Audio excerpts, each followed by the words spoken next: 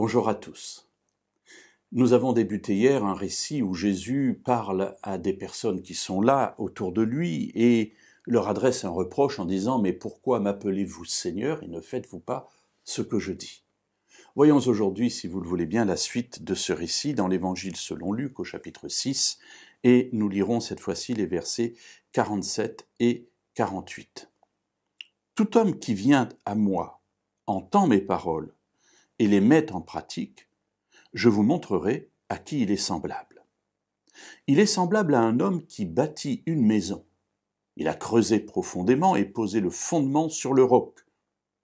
Une inondation est venue, et le torrent s'est rué contre cette maison, sans être capable de l'ébranler, parce qu'elle était bien bâtie.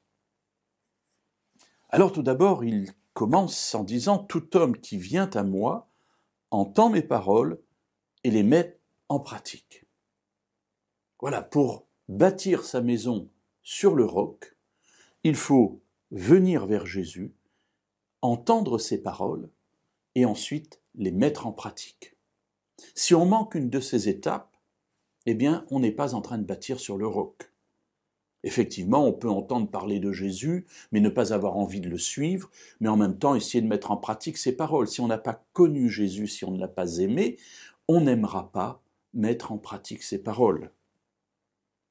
On peut venir à Jésus, être touché par ce qu'il est, entendre ses paroles, mais ne pas les mettre en pratique parce qu'elles nous engagent parce que cela va nous gêner dans tel ou tel domaine de notre vie. Alors, mes amis, là, nous ne sommes pas en train de bâtir sur le roc non plus.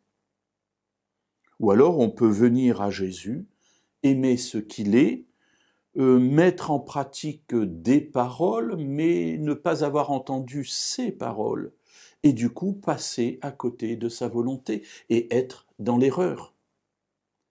Pour bâtir sur le roc, il faut ces trois conditions. Venir vers Jésus, aimer donc ce qu'il est, avoir le désir de le suivre, entendre ses paroles, voilà, se laisser imprégner par elles, et ensuite les mettre en pratique. À ce moment-là, on est comme une maison bâtie sur le roc. La tempête vient, les flots se déchaînent contre elle, et cela n'a pas d'importance parce que les fondations sont profondément enracinées dans le roc.